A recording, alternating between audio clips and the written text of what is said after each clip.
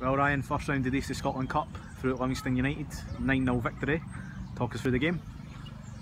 Obviously, going into the game, um, they're always tricky ties. I've been, played Livingston numerous occasions over the years at Penicuik, and it's never really been a, a great stomping ground. You know, a couple of sort of late victories and 1 0 wins to, to gain promotion actually. So we knew that it was going to be a, a sticky tie. You know, there, there's nothing really to gain from um, from, from the game really. Uh, you know, go out and win convincingly. If we don't do that, then you know, it's, it, it's seen as, as a bad result. So we just reiterated that to the players, and the start of the game was, was key for us.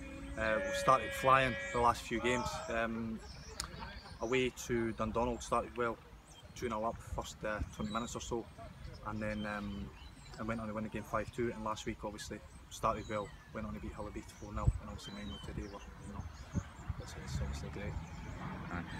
Did you, at 2 0 at half time, did you see it finishing with 9? I did, funnily enough. Not, maybe not as much as nine, but I knew that we were on it today. I knew that we were trying to do the right things in the right areas.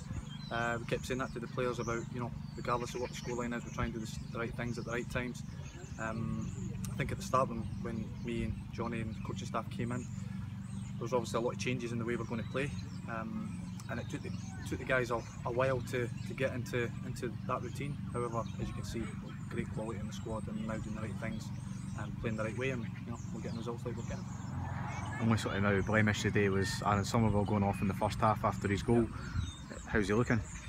He's all right. It was just precautionary, really. Um, he's been obviously at his work. He's got quite a physical job, so he had a, a, wee, a wee problem with his knee, uh, and he was feeling it early in the game, and we're, we're two 0 up, and we felt we were comfortable, so we could take him off. And like you say, when you've got you've got your captain, Glenn McCallum, on the bench, uh, along with along with the Scott twins, and uh, so it's you know as you see when they come on, it's you know there's there's no there's no weakness there.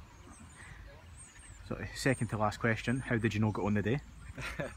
Never got on. Still, still nursing this calf injury. Um, still trying to get the bottom, bottom of what the actual problem is. But uh, hopefully, be back training in the next couple of weeks and, and back, back playing. And final question, that's Ryan McCallum level way on goals now. Right. So, you're going to maybe pull the boots Well, I ones, try and get a few uh, goals again and get ahead yeah. of him? Yeah, definitely. I, I kind of let him get ahead of me. Uh, it's fair to say he'll be on the bench next week. Um, but nah, apart from that, he's done great for us. Ryan's a great player and uh, captain of the club and thoroughly deserves everything that comes his way.